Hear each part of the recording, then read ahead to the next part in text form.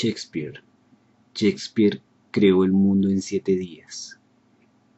En el primero hizo el cielo, los montes, los abismos del alma. En el segundo hizo los ríos, los mares, los océanos y demás sentimientos. Y se los entregó a Hamlet, Julio César, Cleopatra y Ofelia, a Otelo y a otros, porque se enseñoreaban en ellos con sus sucesores por los siglos de los siglos. El tercer día reunió a todos los hombres y les enseñó los gustos, el gusto de la felicidad, el gusto del amor, el gusto de la desesperación, el gusto de los celos, el gusto de la gloria. Entonces fue que llegaron unos individuos que se habían retrasado.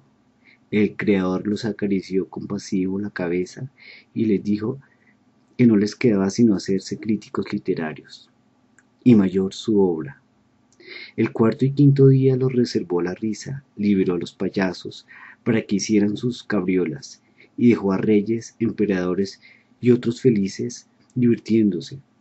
Al sexto día solucionó unos problemas administrativos, desencadenó una tormenta, enseñó al rey Lear cómo llevar su corona de paja. Habían quedado algunos desechos del Génesis y creó a Ricardo III. El séptimo día echó una mirada a ver si quedaba algo por hacer. Los directores de teatro ya habían llenado la tierra con carteles, y Shakespeare consideró que después de tanto esfuerzo valía la pena ver también él un espectáculo. Pero antes de esto, sintiéndose sumamente agotado, se fue a morir un poco.